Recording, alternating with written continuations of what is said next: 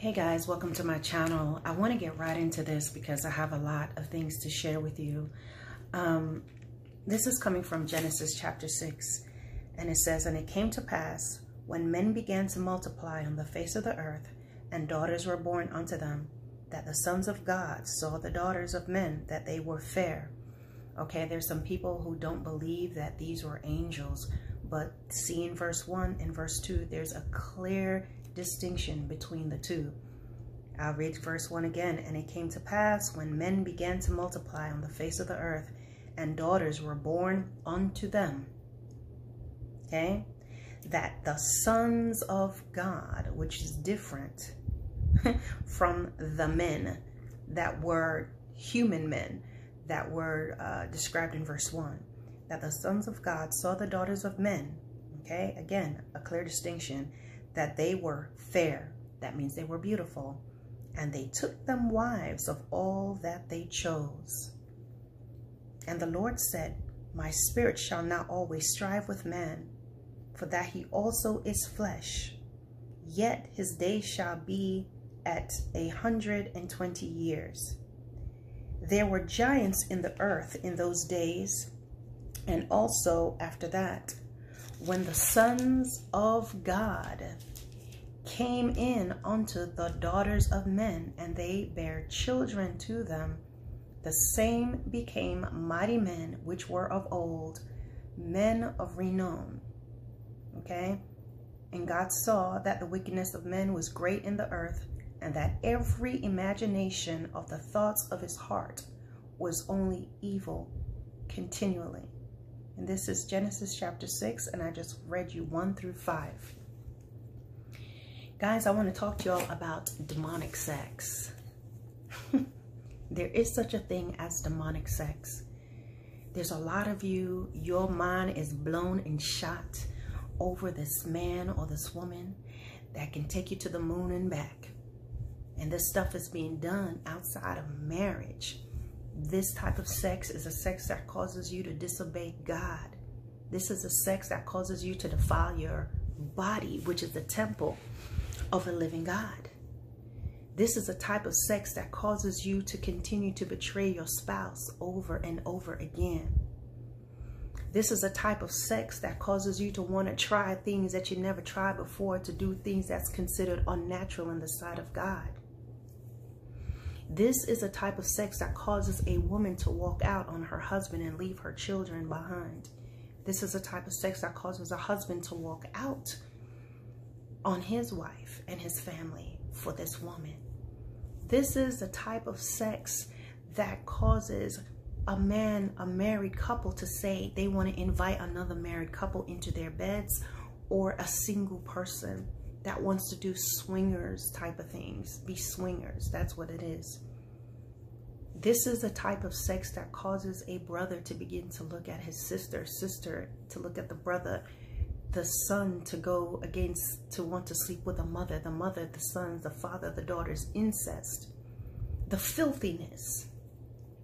This is a sex that causes people to want to marry and sleep with their dog and animals but to keep it closer to home, this is the sex that causes a lot of people to be sexually immoral and in and, and have sexual infidelity in their relationships. Masturbation is not exempt from this. But the truth of the matter is that type of mind-blowing sex that you're having outside of your marriage outside of the institution of marriage. It's demonic.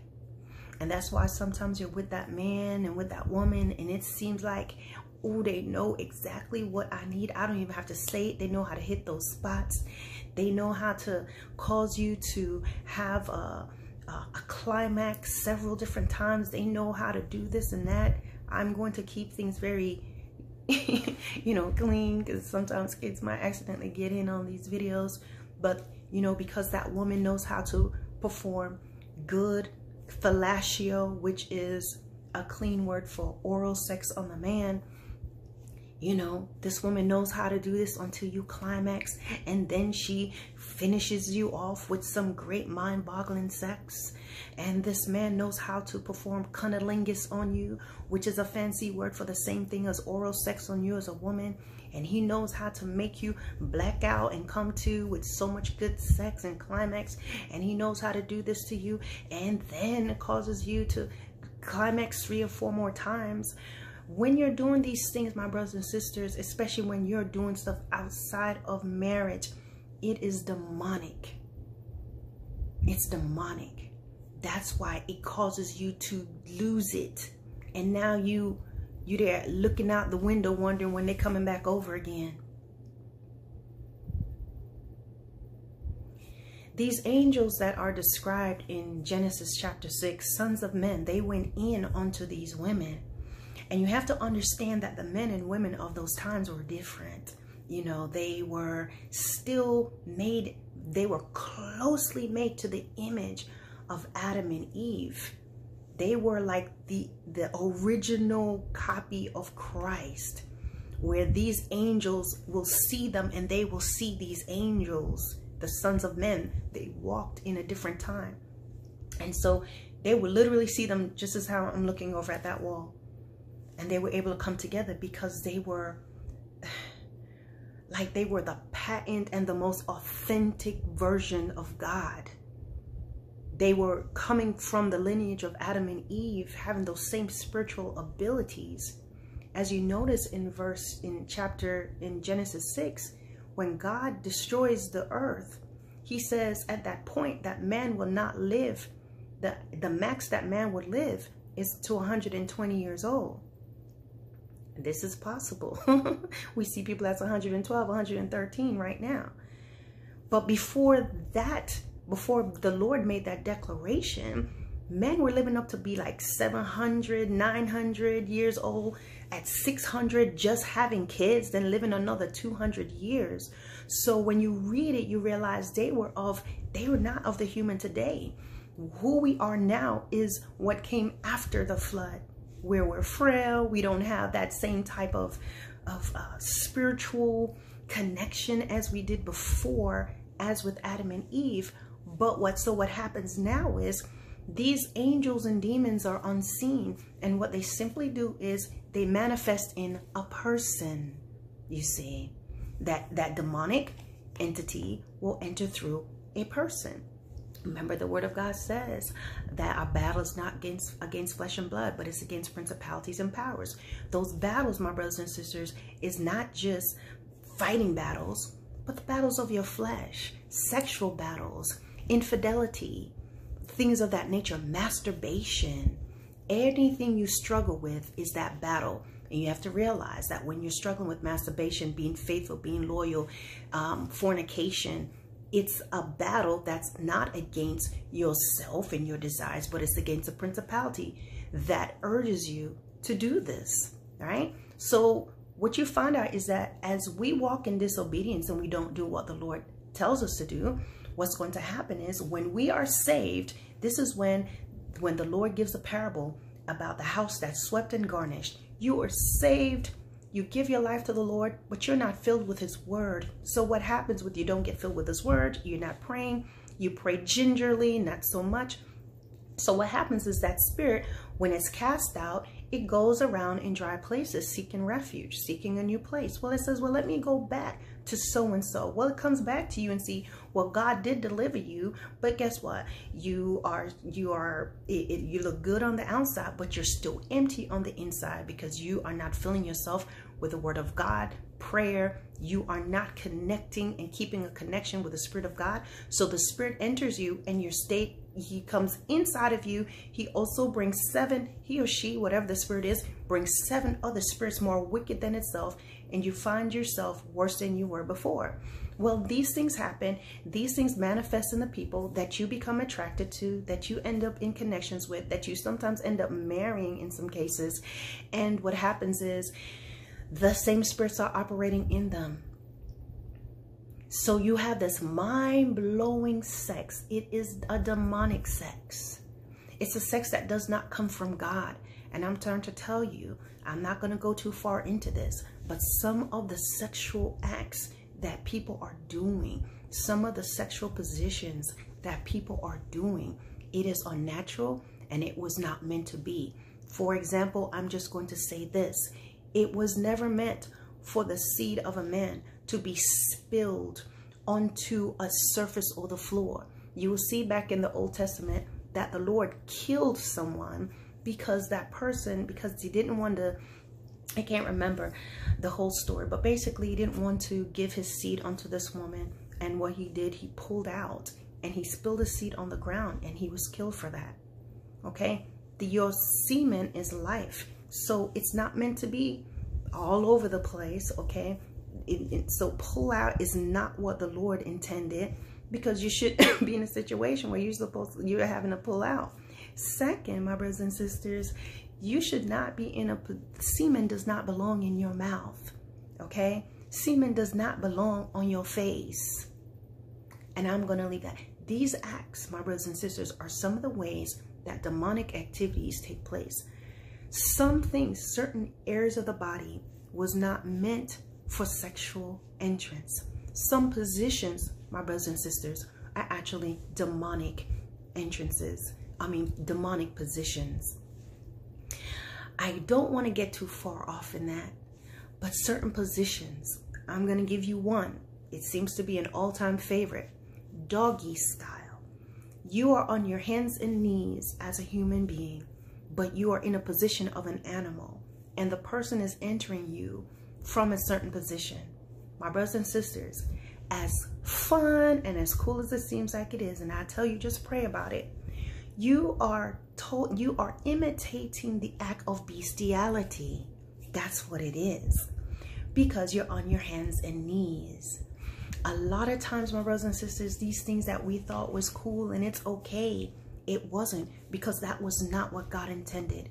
But the enemy and the sons of these, the, well, now they are demons. Okay, they've moved from being the sons of God. And these were probably the sons of God. These were probably the ones that got expelled from heaven onto earth when the when Satan tried to take over the kingdom of God and him and the angels were cast down to the earth. So that's probably who it was that was doing it. Not the angels of God per, per, se or the sons of God that stuck with the Lord, but the ones that left his presence with the enemy and they start to go in onto women. So all these things that you're doing is the perversion, it's demonic perversions, and it's the ideas that now, even though you're married and you're saved, you think it's normal to do certain things, certain positions, certain things that you do. You think it's normal, but it's a perversion.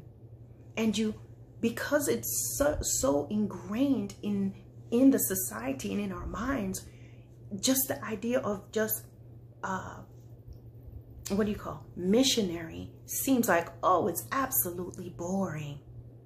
Because there's so many other positions there's so many other ways there's so many other orifices and entrances on the body and there's so many other gadgets and things that we can bring into the bedroom to make this more exciting but my brothers and sisters it is a demonic entrance and that is why in marriages, people are not satisfied. And that is why in marriages, women have to be trying to keep up with the demands of their husband or trying to keep up with the demands of their wives. But I see it more the other way around because he has such a big sexual appetite and she has such a big sexual appetite. He's doing everything he tries. He's trying to, to, to to satisfy her. And while there's nothing wrong with having a healthy dose of sexual desire it's more or less it's it's it's it's something that cannot be satisfied. And so the man is going out the house the woman is going outside the home and then they're trying to, the, the man or the woman is trying so hard to make themselves more attractive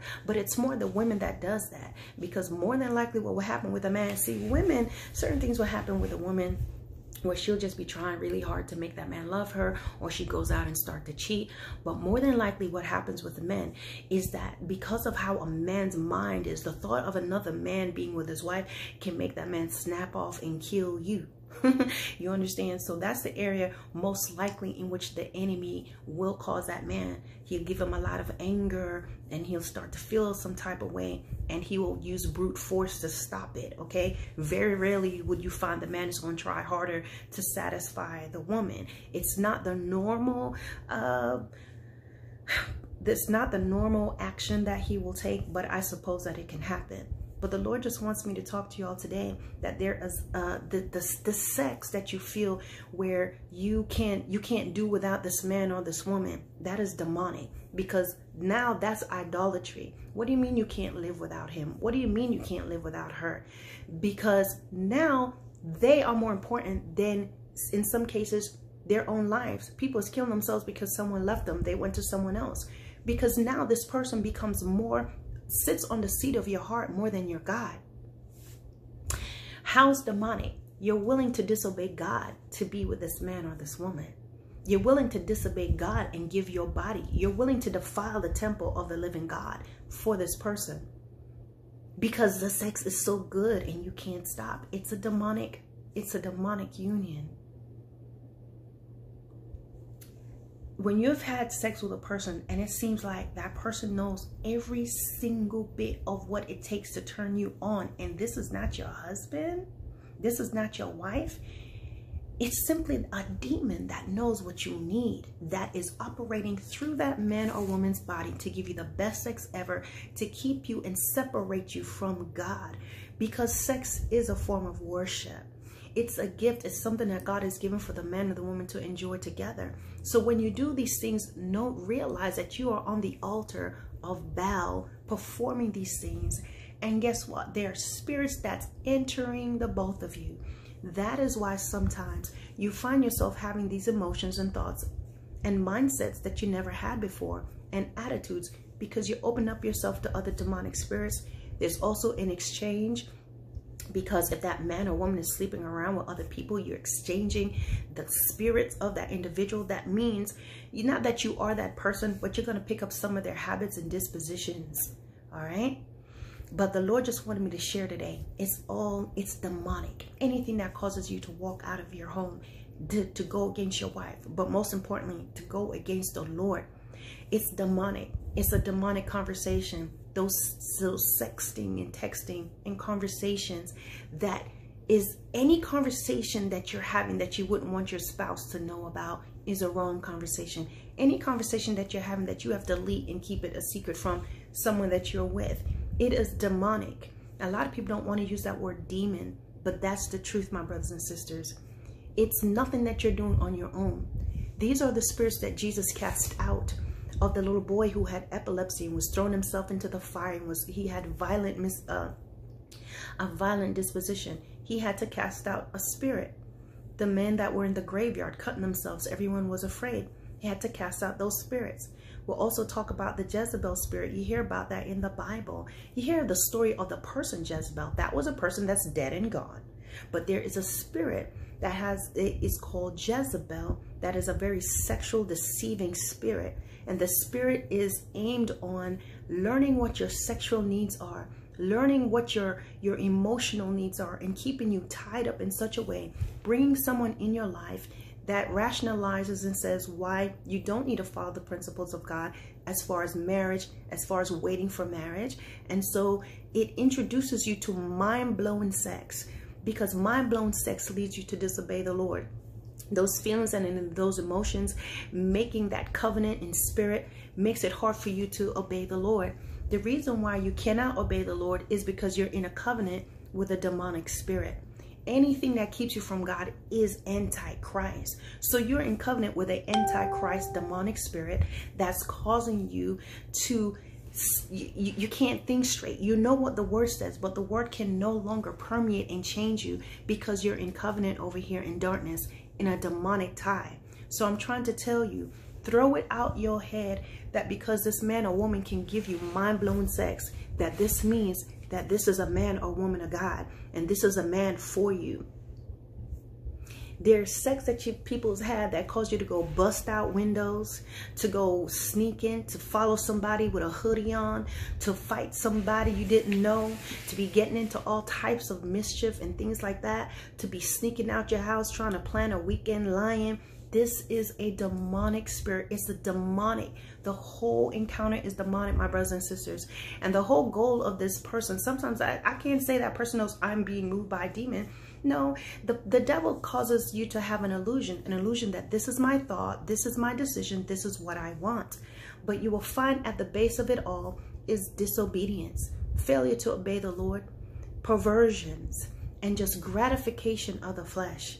So take the take this thing off your head that I can't leave this person or I'm in love with this person because oh they're so wonderful what has happened is there's been a demonic covenant made when you decided to have sex outside of marriage, when you decide to have sex outside of your marriage, when you decide to have any type of perverted sex that does not line up with the word of God.